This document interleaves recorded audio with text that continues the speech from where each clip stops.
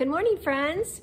Today we celebrate the blessing of animals in honor of St. Francis of Assisi, who took care of creation and who cared for animals. St. Francis grew up 800 years ago in a rich family, and when he grew up, he decided to give up all his money, even his nice clothes, to serve God and others. He treated all animals with love and respect.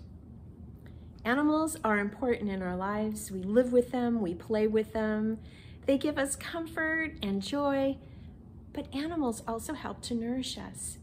And on this day, we honor both our pets and those animals who give us food, work on our farms, and are part of the cycle of life on our earth.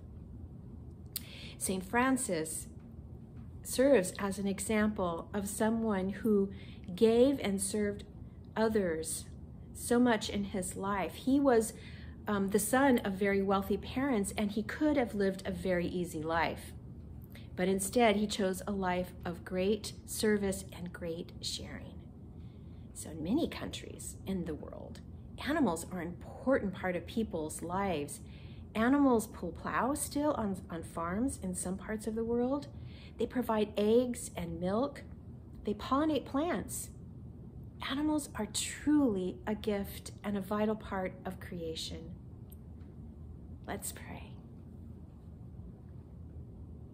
Dear God, as we honor our own animals this day, we also honor the role of animals in feeding the hungry all over the world. We pray to seek out people in need, wherever they might be. And we pray to serve with our gifts, our blessings, and ourselves. Amen.